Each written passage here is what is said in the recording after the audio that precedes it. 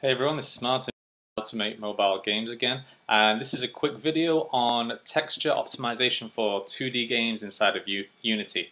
It's pretty much an intermediate tutorial this one or a tips video. It's not really for beginners and probably not for the advanced developers out there who already know this stuff.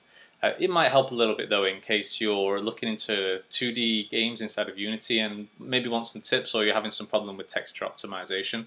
So, um, you know, hopefully this video is useful for everyone. Uh, as you can see today though, no hat. I usually have a hat on all of these videos, but you can tell why. My hair is completely messy and I tried to make it a little bit more pretty before I came into this video, but it just wasn't working, so let's, let's just go for it. So anyway, um, I get this question um, uh, quite a lot, is, is texture optimization inside of Unity, and I also see the question um, quite a lot as well. So basically what we do with our business, um, uh, our studio, Cobalt Play, is we make 2D games. And obviously Unity, for those of you who are quite new, it builds inside of a 3D environment. The, the game scenes are actually laid out in, into a 3D world in, in all axes. But what we do is we change our camera to orthographic so that there's no perspective or distance. So that's pretty much for all of our games. So this is very much a 2D game focused texture optimization video. So let's dive in anyway. Uh, the first thing is, um, you know, keeping textures down in terms of their size is, is useful for like two main reasons. Uh, one is obviously the frame rate, which you know makes the game more smooth. So if we can achieve like a 50 frames per second or even 60 frames per second on, say, an iPhone, then that's great. You know, we want to keep it nice and smooth, and we don't want to uh, have it too jittery. Or you know, if we achieve 30 frames per second, that's great as well. Uh, so having compressed textures that are a smaller size basically makes it easier for the screen to render. Uh, there's less memory overhead and therefore it appears smoother.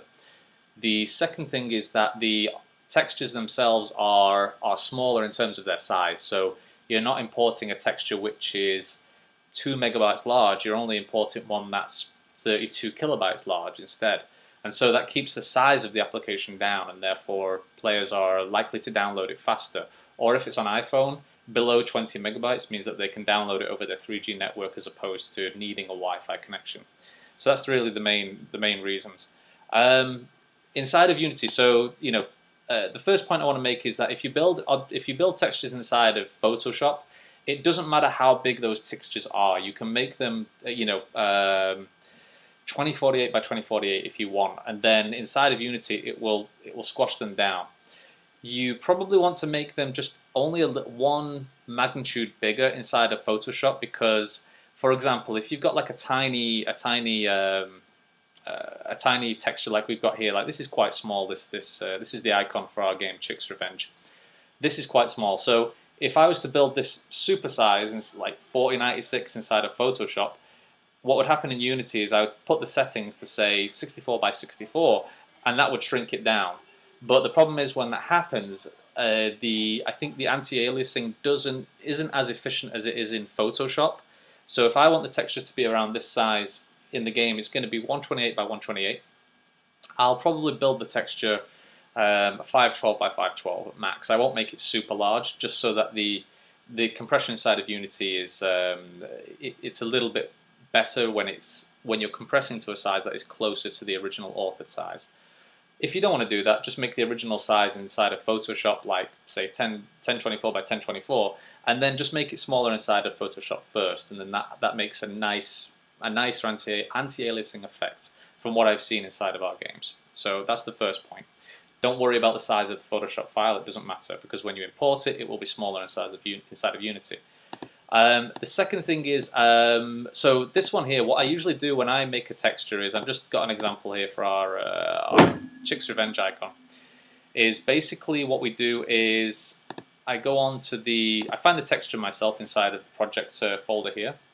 Then what I'll do is I'll set the wrap mode to clamp. And that what that does is that basically means that the texture can't be repeated. What you might see in some of your textures sometimes, if you put the texture onto an exact square, um, what you might see is texture leaking from one side. So for example, if I've got a texture here, and let's say I've got at the bottom, the texture is filled all the way to the bottom, and at the top there's a bit of a gap between the texture which is transparent. Sometimes you might see the top of the texture have a small line. Uh, and that's it kind of leaking on, or bleeding, I think it's called. I, I can't remember the term in, in texturing, I'm, I'm not an artist, but it kind of bleeds onto the top.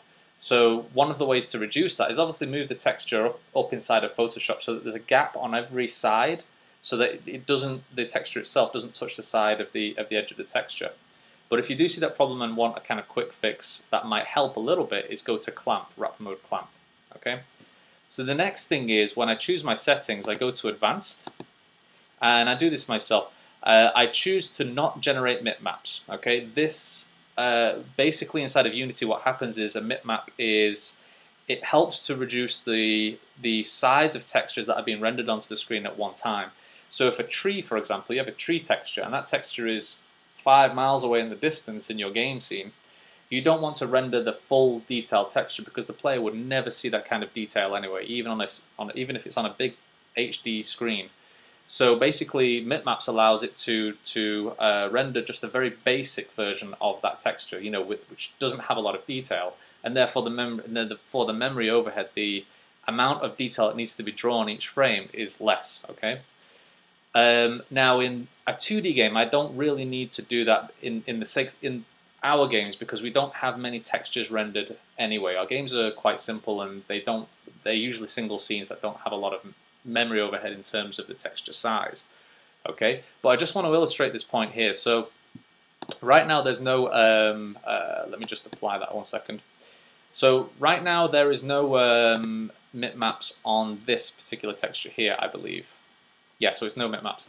So if I generate maps, what you'll do, what you'll see is right now it's 8 kilobytes, okay? If I apply that, it's going to be a little bit larger, 10.8. Now that's not very big, that's, that's no problem.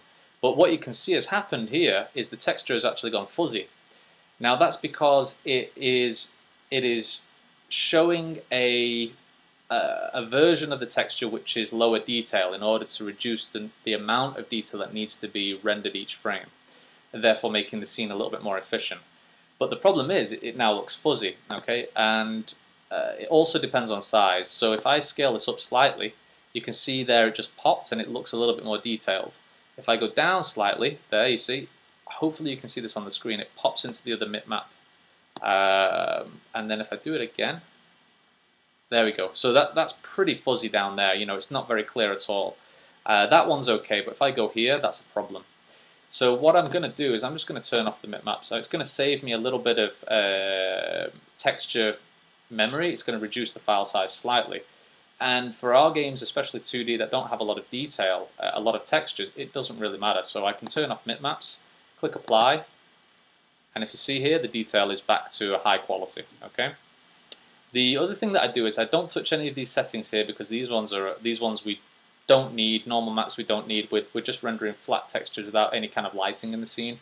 Uh, again, it's on a mobile device, so using lighting thing generally uh, causes a bit of what I found is it causes a bit of a memory crunch and it's a bit hard to render. I, I like to keep it at maximum frames possible per second, so 50 to 60. The other thing I do is turn on override for iPhone and what I will then do is I will play around with these settings here. I try not to go above 256 if possible. So 128 and I generally try to keep the uh, compression size down to 4 bits or 2 bits and I'll play around. Now for this one, as you can see, I've gone to 4 bits here, and I'll click, uh, and I've already got that one. But if I try 2 bits, click Apply,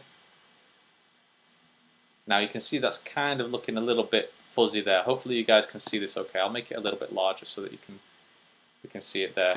Obviously it wouldn't be this large in the game, but just to illustrate the example.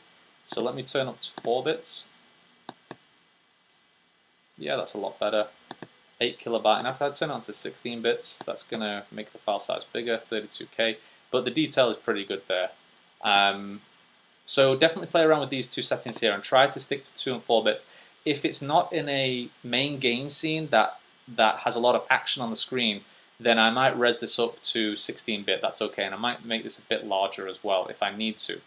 That's not a major problem because if, if the game scene needs to the game scene needs to be smooth. Obviously, the main game where you're actually playing it, you don't want that to, to jitter, and you want to keep a smooth frame rate. But for scenes like, say, in the menu or you know the the uh, the instruction screen or something like this, or the credit screen, then it's not too much of a problem. And if you don't mind the extra file size, then you can crank this up a little bit and you won't have too much of a performance hit on the game. The frames won't drop too low. Okay. Um, so the other point is this is, um, I'm just going to, sorry, let me just double check my, my notes here. Okay, so we did the texture type, we set that to advanced. We, we talked about generate maps. Try to use 2 and 4 bit compression. Yeah, so the other point that I wanted to mention here as well is that depending on how the texture was created inside of, say, Photoshop or any other um, uh, texture creation program that you're using, uh, it depends on how the texture is actually created as well. So, for example, this one, this texture, uh, our uh, studio logo, Cobalt Play, that texture inside of Unity, inside of Photoshop itself, is actually created as a thin texture. It's not created as a square texture. Um, so what will happen here is if I go to the texture itself, now I've set this onto clamp, I've turned off the mipmaps, uh, I've turned it onto a 256 size and I've also set it to compression or uh, 4-bit compression. Um, what will, I think what happens inside of Unity is if you have a non-square texture, the compression is slightly different, okay? So what I can do here, and, and this is why I say play around with the settings, is if I go to 16-bit, it's now on 32. It's a 32 kilobit size texture inside of uh, Unity, uh, 4 bits. If I change to 16-bit, it's still 32, and the quality is increased. So, and if that, I believe that is because it's not a square texture. It chain the compression is slightly different. Um, it doesn't compress it in the same way as a, as an exact square texture.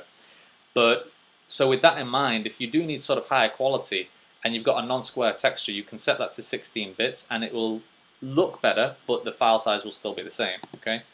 So I'm just going to leave that as it is right now, and that should be fine for this one. So I think that is pretty much it. Um, okay, so I think that's pretty much it. Uh, the other point that I wanted to mention, and uh, this was one of the questions that, that somebody had asked me as well, is uh, on iPhone when uh, when it actually builds the app file, uh, the, the .app file, everything gets shrunk down and compressed um, when the app file is created through Xcode. So, for example, um, if you, I believe, if you generate a uh, an app file, a .app file that is around 28 megabytes or 27 megabytes, when you zip that up, it will go down to around 9 kilobytes. Now, this is working on a Mac here. I don't know if it's any different on Windows. In fact, it wouldn't be different on Windows because you need a Mac to make iPhone, so ignore what I just said. Anyway, if you zip a, a 28 megabyte .app file down, it comes to around maybe 9 or 10 megabytes, but when it comes into iTunes, when it's available on the iPhone App Store, it actually jumps from around 10 megabytes to around 19.9. Now, I'll double check that for anyone. If anybody's interested in knowing exactly what file size you need to have your finished .app file in order to be below the 20 megabytes, then please drop me a comment um, and I can reply to that in, in a video which actually talks about that specifically because I want to give you guys the right figures, not not just ones that I'm trying to remember off the top of my head. So, um, but for now, guys, you know, I hope I hope this video was useful. Um, intermediate users and hopefully some advanced users have found this uh, this useful, and, and when you're building 2D games, we'll take this into account. Uh, you know, but as always, guys, please subscribe, uh, please comment and like the video. Uh, drop any comments down of the videos that you'd like me to talk about, any tutorials, and we'll add those to our channel uh, because we really want the community to sort of dictate like and tell us what you want to see as opposed to us sort of guessing. But for now, anyway, this is Martin from How to Make Mobile Games, and happy developing, everyone.